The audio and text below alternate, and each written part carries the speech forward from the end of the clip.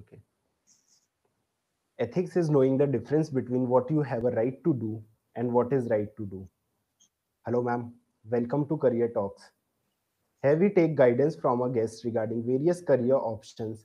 And in this session, we will be discussing regarding five years integrated LLB course and AIBE.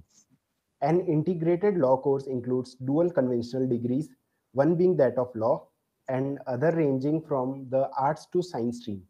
Different integrated law courses available in India are BA LLB, BBA LLB, BCom LLB, BSc LLB, and BTech LLB. So I request you, you to ma'am, please share your experience with us and tell us from where did you do your five years LLB?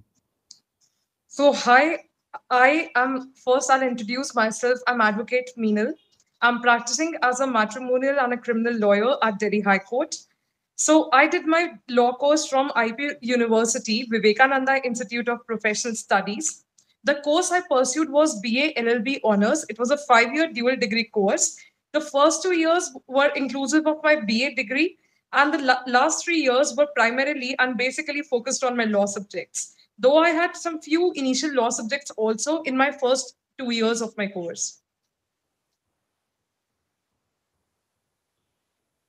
Okay, ma'am. So, ma'am, next question is who can opt for five years LLB and what is the eligibility criteria for it? See, any uh, any student. It is not that only an art student can do that. A, a, uh, a student with science stream, a student with commerce stream, somebody from medical uh, background can also opt for LLB. So basically, you need to you need to have uh, like all, all the law universities today have an entrance exam that's called either a CLAT or NLUD has a separate entrance exam. So does IP University has exams. Uh, so if you're pursuing a five-year degree course, you need to keep a check on what are the dates for the entrance examination. You need to pass their entrance exam. You need to have 55% at least minimum marks in your boards. Along with this, uh, you need to have uh, you need to clear the entrance exam and secure a decent uh, a decent rank. Basic the basic very basic criterion of getting an admission into a law school is that you need to crack their uh, you need to crack their entrance exam. If you're not able to crack their entrance exam so it can't be uh, can't be helped otherwise. So there is no, no restriction that okay ma'am this particular stream like in medical courses we have or in co- uh, certain commerce courses we have certain restrictions that only a particular stream student can opt for this course. But law is a diversified subject or a diversified field wherein any stream person can come and do it. Okay ma'am.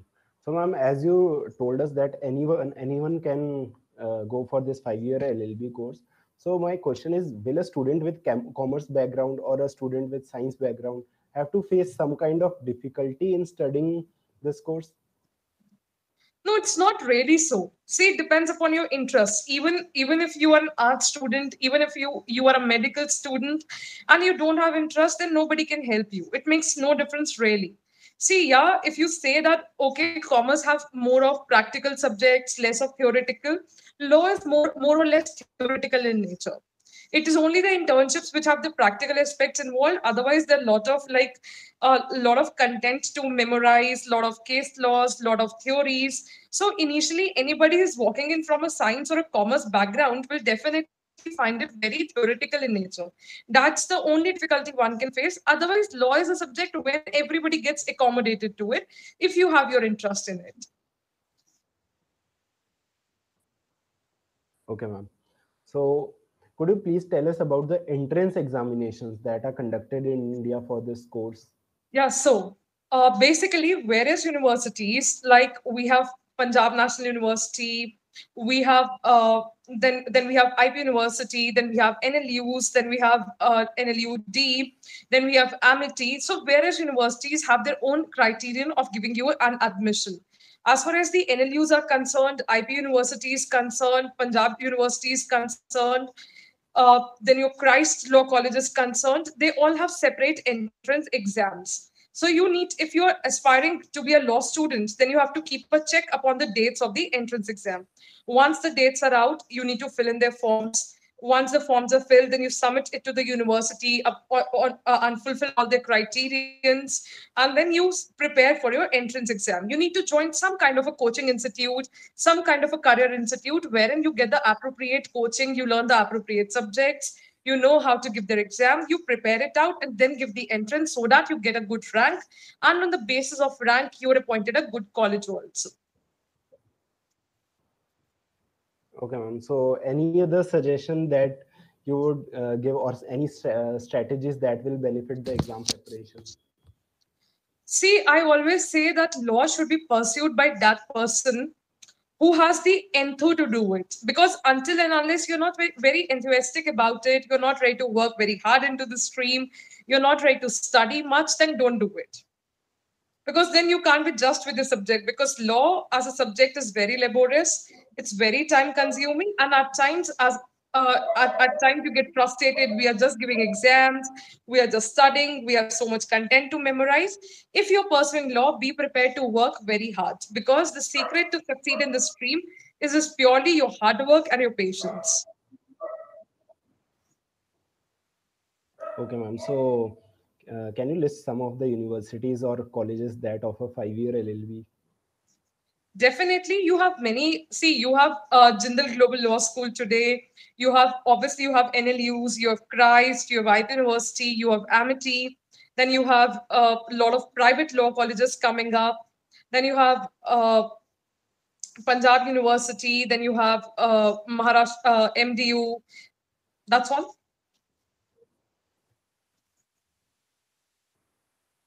okay. well go to so see as a, as a list srm Sorry? Uh, ma'am, I was up to my next question, but please uh, continue. All right.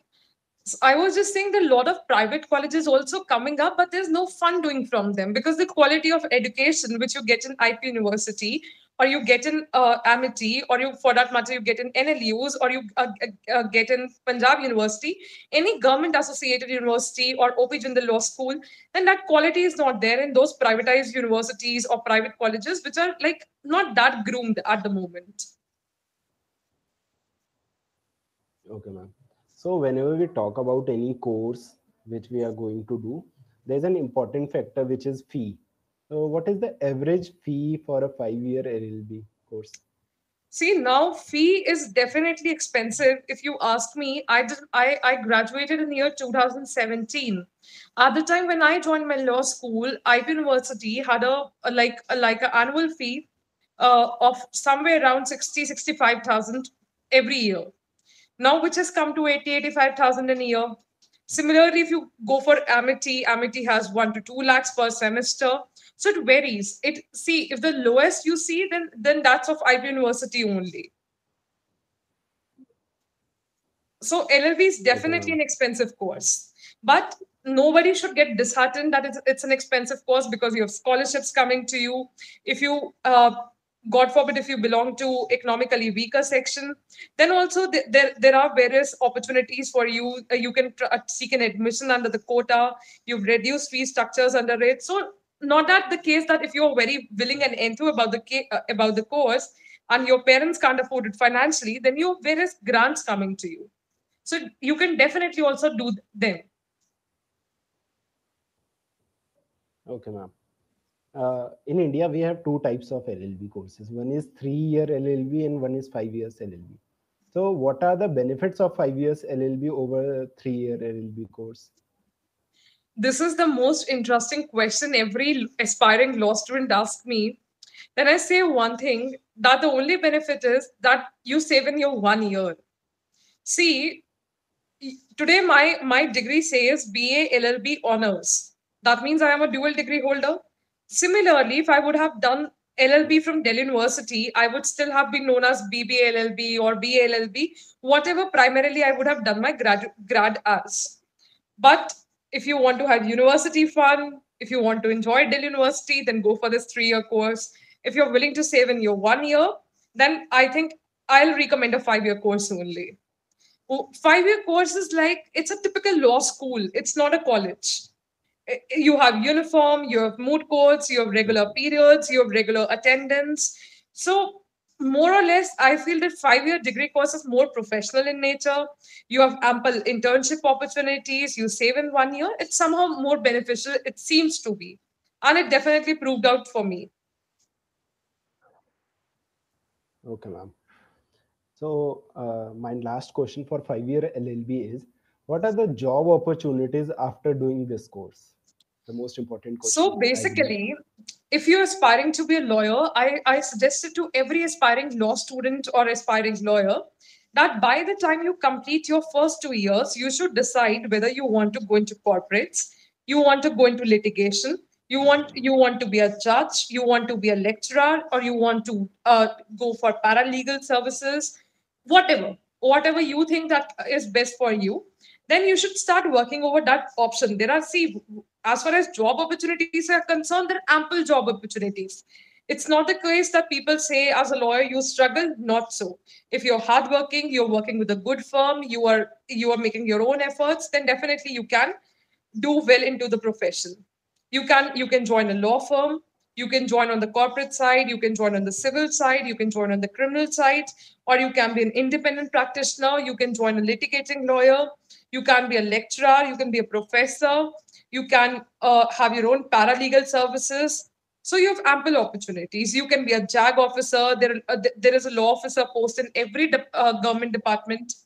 You can be a judicial officer. So the opportunities are ample.